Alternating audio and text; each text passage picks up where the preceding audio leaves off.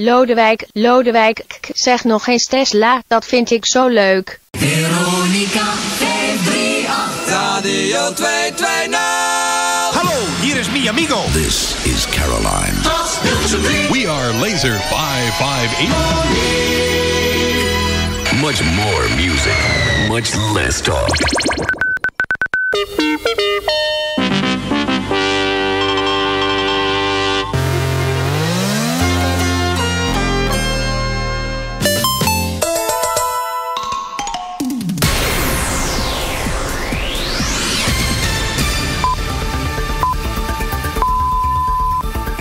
Wat een begin voor de Daily Minute Extra Bits. Dit is Daily Minute Extra Bits nummer 8. Humor en spotjes deel 2. In de eerste paar jaren van de Daily Minutes op PI2 NOS was het heel gewoon om korte stukjes muziek te draaien als dat een functie had binnen de uitzending. De Jingle Marathon, zoals die hiervoor te horen is, is op PI2 NOS wel eens uitgezonden. En ook wel in een langere versie dan wat je hier hoorde. Ook de volgende heb ik diverse keren gebruikt, zowel in de uitzending op PI2 NOS als die op PI3 UTR. Place that's gonna blow your mind. The place that's gonna blow your mind. place that's gonna blow your mind. This is the sound of Radio North Sea. Sound of radio. This is the sound of Radio North Sea.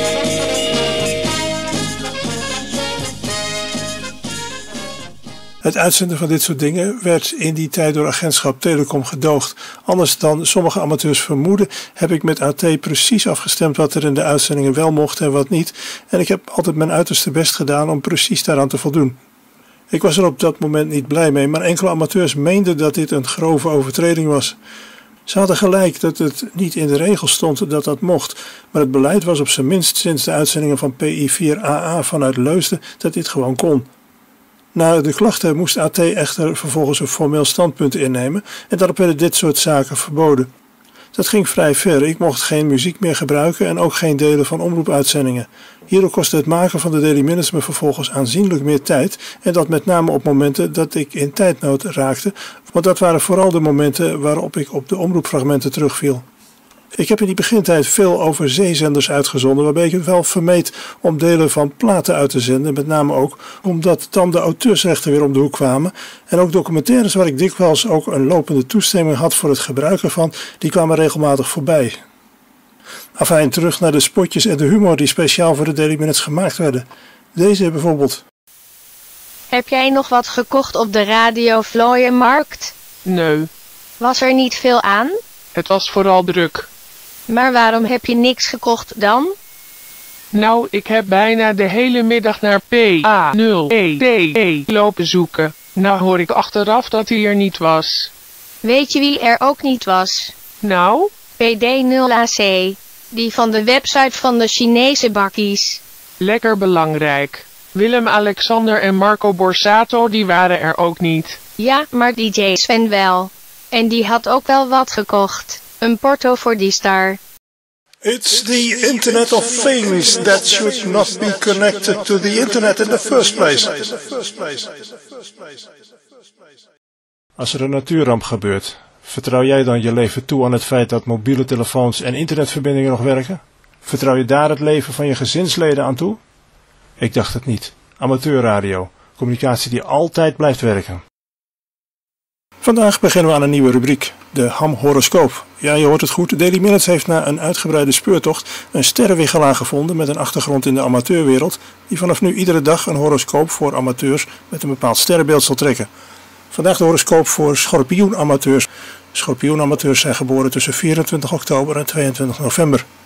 Curso's verlopen harmonieus en advies, zoals je van bijvoorbeeld een ervaren mede-amateur krijgt, zal op maat gesneden blijken te zijn. Een idee over je antennesituatie moet waarschijnlijk worden herzien. Je bent bij lokale verbindingen graag gezien bij je etervrienden, ze lijken je overal te kunnen vinden. Ga dit weekend in op uitnodigingen en verras jezelf door eens een amateurband of een modulatiesoort te kiezen waar je niet zo vaak komt.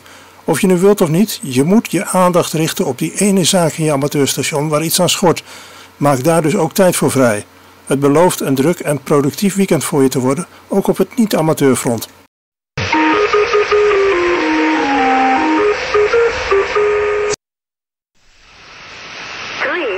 nine seven one five.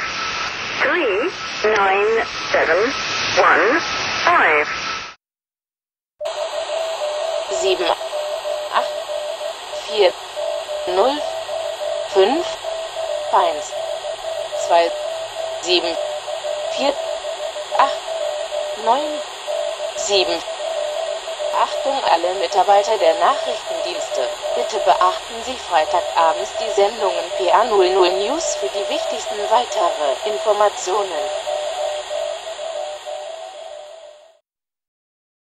En denk eraan, als je gaat solderen, dat je de lak dus niet beschadigt.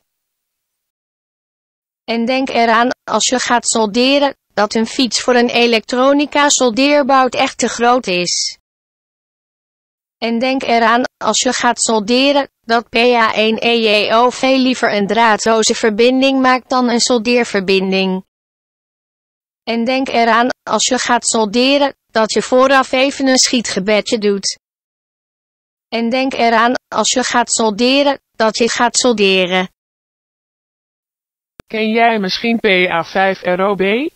Bedoel je die gast uit Zaandam? Ja, Die vaak op de camping staat daar bij Apeldoorn. Jazeker. Die altijd op de campingsavonds laat met de kat gaat wandelen? Inderdaad. Nee, die ken ik niet. Redactie en presentatie van deze uitzending PA0ETE E en PA9TV. De techniek is in handen van PA0ETE.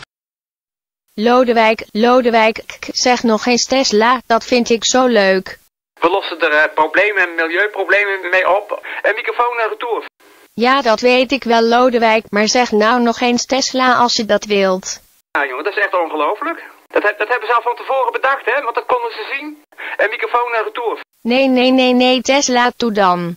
Dat is een soort algemene trend eh, die, wel, die, die iedereen om zich heen wel, eh, wel kan zien, denk ik. En gerecycled, hè? Ik ben daar tegen. En microfoon naar retour. Lodewijk, luister nou toch eens alsjeblieft voor mij, zeg nou een keertje Tesla. Hij komt nu, iedere week komt er een nieuw film van eh, Elon Musk op, eh, op internet. En microfoon naar retour. Tesla, Lodewijk, Tesla, het is echt niet moeilijk, ik dring volgens mij niet echt tot hem door. Dus je, je, je kan dat proberen tegen te houden. En je kan dat ook proberen om dat met open armen te ontvangen. En daar open voor te staan, hè? En microfoon naar retour. Ik probeer wat anders. Lodewijk klopt het verhaal dat je binnenkort net als PA0ETE E ook een paar katten in huis krijgt. Eh, het, is, het is nog een gerucht. Maar het gonst. Het kan eigenlijk niet anders zijn dan waar zijn. Verandering is ook vernieuwing. En microfoon naar retour. Wat een bijzondere broche heb je daar. Ja, leuk is die her. En hij ziet er heel elektronisch uit. Nieuw, Ik heb hem net ja. Maar dat ziet er trouwens net uit als een Raspberry Pi Zero. Ja, het is ook een Raspberry Pi. Leuk her. Ik heb met een vuil wat van de beschermende lak gehaald en daar heb ik een veiligheidsspeld op gesoldeerd. Oh oh oh, wat zonder toch weer. Nee hoor, helemaal niet.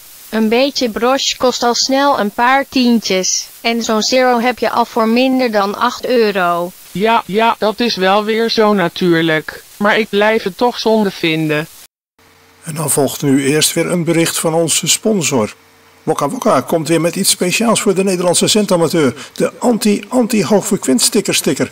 Tegenwoordig zijn steeds meer mensen bevreesd voor zendzignalen en steeds meer mensen kopen dan ook stickers en amuletten die de straling van zenders tegengaan.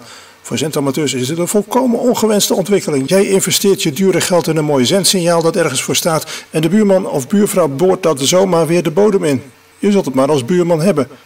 Bij gebruik van voldoende stickers of edelstenen kan het zendvermogen wel met twee derde geabsorbeerd worden en in warmte omgezet. En dat kan nog veel meer zijn als meerdere buren tot dit soort acties overgaan. Vooral meerdere stickers op een venster kunnen in dit opzicht heel effectief werken vanwege de koelende werking van de buitenwind op het vensterglas. Een N-amateur houdt in zo'n geval nog maar een schamele 8 watt van de toegestane 25 watt over. Dit is natuurlijk een volstrekt ongewenste ontwikkeling. Waka Waka ontwikkelde daarom op basis van iridiumcarbonaatkristallen in combinatie met een flinke dosis nanotechnologie als eerste de anti-anti-hoogfrequent sticker sticker. We hebben hier met een team van echte bollebozen zeker twee jaar aangesleuteld, maar nu is het product dan ook geschikt voor marktintroductie. De Wokka Wokka anti-anti-hoogfrequent sticker sticker gaat het schadelijke effect van alle anti-hoogfrequent producten met zeker 90% tegen. Een velletje met vier stickers is al te koop voor een bedrag van 199 euro, exclusief btw en verzendkosten. Notabene, je kunt beter niet aan je buren vertellen dat je ze gebruikt. Woon jij al lang in de Havermoutstraat? Hoe kom je erbij? Ik woon niet in de Havermoutstraat. Ik woon op het Cornflakespad. Oké. En waar woon jij dan? Ja, in de milkshakebuurt. Op het banaan met ananaspad. Nog problemen met plaatsen van antennes daar? Helemaal niet. Ik heb de antennemast wit met een rode spiraalbies geschilderd. En er zit bovenaan een knik in. Tegen de buren heb ik gezegd dat het een rietje is. Ik heb laatst een dipmeter gekocht. Wat is dat, een dipmeter? Dat weet ik ook niet, maar er zei iemand op de repeater dat die apparaten heel erg handig waren, en dat je er vroeger zelfs niet zonder kon. Een dipmeter. Wat zou dat kunnen zijn? Ja, als het nou een dipsausmeter geweest zou zijn, dan had ik het wel geweten. Het gaat er natuurlijk niet alleen om wat die meter is, maar ook wat je ermee kunt doen. Ik weet wel wat een meter is, maar wat is nou een dip? Ik bedoel, elektronisch gesproken dan. Ik weet het trouwens al.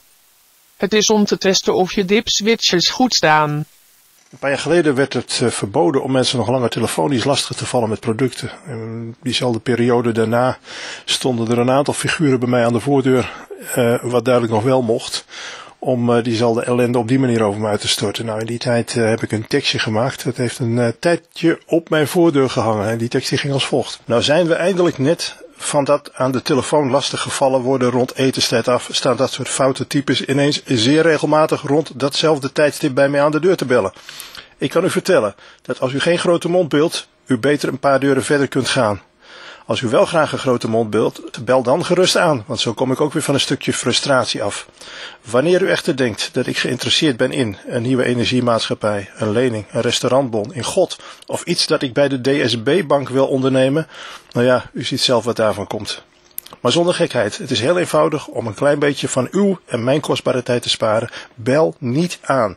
Ik garandeer u van tevoren, ik heb geen interesse. Oh ja, en aan enquêtes doe ik ook nooit mee. Nou ja, één keer per jaar met Sinterklaas, als de hele familie loodjes trekt. Of is dat nog geen enquête? Hoe dan ook, vertrek. Ga weg, bel niet. Op slechte dagen sta ik mensen als u aan de deur uiterst kort te woord met slechts drie woorden. Nee, nee, nee.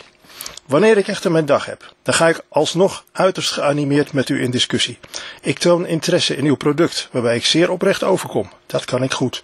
Ik vraag waarschijnlijk belangstellend naar uw thuisfront, laat u desnoods uw hele catalogus uitleggen en vraag dan ook naar een contract. Maar net als u dan na twee of misschien drie uur praten eindelijk denkt uw slag te kunnen slaan, vertel ik naar waarheid dat ik hoegenaamd niet over enig te besteden geld beschik en zoiets ook niet op termijn van drie of wellicht zelfs vijf jaar naar nu te verwachten heb. Neem dus het zeker voor het onzekere en ga ter bescherming van uw eigen dure tijd niet met mij in discussie. Aan de telefoon kondigde ik bij gesprekken, als u met mij wilt hebben, van tevoren altijd netjes aan dat ik het gesprek opnam. Door de ervaring wijs geworden hoef ik dan niet achteraf te soebatten om een opname waarop de bevestiging van mij zou staan om vervolgens een gemanipuleerd bestandje te ontvangen met slechts een heel klein gedeelte van wat gezegd is. Gek is wel dat na zo'n aankondiging van mij de meeste mensen die mij voor 1 oktober belden ineens heel snel de interesse in een verder gesprek kwijtraakten. Aan de deur zoek ik nog naar een soortgelijke oplossing. Vooruitlopend op een definitieve aanpak heb ik echter alvast achter mijn voordeur een soort van webcam gemonteerd, samen met een goede microfoon. Die beide staan altijd aan en die nemen alles op. Wanneer u dus toch aanbelt, wil ik u vragen om, als u tenminste een beetje florissant in beeld wilt komen, alvast uw beste glimlach op te zetten. Strijk voordat u de belknop beroert ook even uw kleren glad en doe de haren uit uw gezicht, als ze daar tenminste naartoe gewaaid zijn. Afijn, een hele hoop woorden dus, terwijl ik eigenlijk alleen maar zeggen wil, als u niet iemand bent die ik heel goed ken, of die op afspraak komt, of zelfs persoonlijk door mij is uitgenodigd, hoepel op! De zaterdagse Daily Minutes uitzending is gewoonlijk in het Engels. Vandaag beginnen we echter in het Nederlands met het grote nieuws van vandaag, namelijk de oprichting van een nieuwe amateurvereniging in ons land. Verbaasd? Ja, dat was ik ook. Vandaar dat de Daily Minutes meteen bovenop dit nieuws gesprongen is. De nieuwe vereniging wilde niet met ons praten, maar ze wilde wel wat ze noemen een zogenaamd promotioneel bericht in onze uitzending hebben. Het aantal luisteraars naar de Daily Minutes was kennelijk toch te interessant voor de nieuwe club om links te laten liggen. Nou, vooruit dan maar, hier komt hij. Ja, Wokka Wokka staat volop in de schijnwerpers. Wokka Wokka gaat op de maatschappelijke tour. Wokka Wokka begint een nieuwe amateurvereniging. Wokka Wokka heeft een aantal ideeën uit de recente politiek bij elkaar gepakt en een aantal mensen uit de reclamewereld als adviseur gevraagd. En het kan haast niet anders dan dat dit plan een groot succes wordt. Doelstelling van de nieuwe amateurvereniging is om iedereen te verenigen. Ja, het woord verenigen zegt dat natuurlijk ook al. De nieuwe vereniging krijgt meerdere speerpunten als doelstelling. De belangrijkste doelstelling is dat de repeaters moeten worden schoongeveegd. Weg met het uitschot van onze maatschappij dat onze mooie repeaters onveilig maakt, die met veel inzet en geld door de amateurs zelf tot stand zijn gebracht. De nieuwe amateurvereniging gaat met de politiek praten over oplossingen voor het probleem. Er moet maar een budget komen waar de acties tegen deze veestapel uit betaald worden. De nieuwe Wokka Wokka vereniging gaat zich verder inzetten voor meer mogelijkheden voor de gelicentieerde amateurs. Allereerst moet de vergunning terugkomen. De Nederlandse examens die zijn verder niet voor niets zo moeilijk. Daar mag best iets extra's tegenover staan. Wij willen, vooruitlopend op de afschaffing van de FM-band, dat met ingang van 2020 88 tot en met 98 megas in Nederland een amateurband wordt. Tevens willen we dat de amateurs in overleg met de auteursrechtenorganisaties op die frequenties muziek mogen uitzenden. Wokka Wokka heeft eerst overwogen om 98 tot 108 als frequentiegebied hiervoor te eisen, maar dat ligt veel te dicht bij de luchtvaartband. Laat ze dat maar houden. Ze gaan binnen een jaar of twee daarna toch allemaal naar DHB+. Dit is nog maar een deel van de plannen van de nieuwe Wokka Wokka Amateurvereniging. Als laatste van dit korte overzicht wil de nieuwe Wokka Wokka Amateurvereniging nog wel kwijt op welke doelgroep van amateurs wij ons vooral richten. Dat is volgens onderzoek dat we door Maurice de hondwerknemer André de Geit hebben laten uitvoeren, tevens de overgrote meerderheid van de amateurs. Dat zijn namelijk de amateurs die een grote hekel hebben aan de Veron, aan de VSSA of aan Decars. En daarnaast de amateurs die een broertje dood hebben aan agentschap Telecom. Wij horen in de aanloop naar de oprichting van onze vereniging dat er zeer veel amateurs een bloedhekel hebben aan al deze organisaties. Nou, daar gaat Wokka Wokka dus wat aan doen. Geen woorden, maar daden, zouden we willen zeggen. Kijk binnenkort op de bekende URL van de webwinkel van de wetenschappers van Wokka Wokka. Daar kun je binnenkort meer nieuws lezen over de oprichting van de nieuwe amateurvereniging. Stuur in aanloop van de oprichting alvast, als je wilt, je mening naar het mailadres van Wokka Wokka. Dat is wokkawokka, apenstaartje. Zonder spaties, zonder streepjes, wokkawokka, at. Je kunt je overigens ook alvast als lid aanmelden. Uit het bovenstaande onderzoek van Maurice de hondwerknemer André de Geit blijkt zelfs dat de meerderheid van de zendamateurs ontevreden is. Dat zou betekenen dat de Wokka Wokka vereniging in één klap ook de grootste amateurvereniging zou zijn.